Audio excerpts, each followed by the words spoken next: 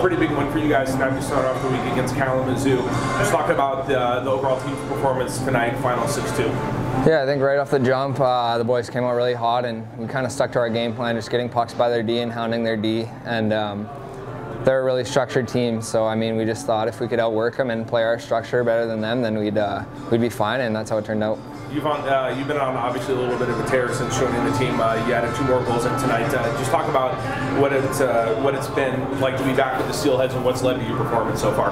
Yeah, it's been really fun um, getting to play lots and um, playing with some great players and Dahl and Samuelson and um, they've really helped me and um, helped me with the systems and stuff like that and um, just trying to take it game by game and enjoy it and work hard and do what I can to help these guys win you had guys like tonight, you know, Eric Sweetman was a plus five at some point. You had guys like that that are all over the ice. Uh, you got Cody Corbett stepping up when he needs to.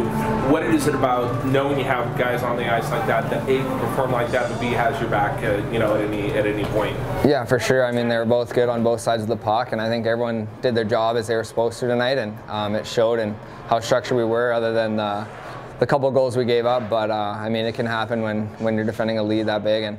Um, I think guys like Sweetman, Corby, you said, stepped up, and then guys like Bell, who comes in and he was battling some some sickness all week and played great for us and had our backs, and it's always great having a guy like that out there. All right, you got two more with him. What do you guys got to do this weekend? I think we're just going to focus on ourselves and focus on playing the same way. I'm sure we'll have a practice tomorrow and um, probably adjust a few things based on what happened tonight, but other than that, just probably try to come out the same way. Cool. We appreciate your time. Congrats on the big game. We'll see you Friday. Yeah, thanks.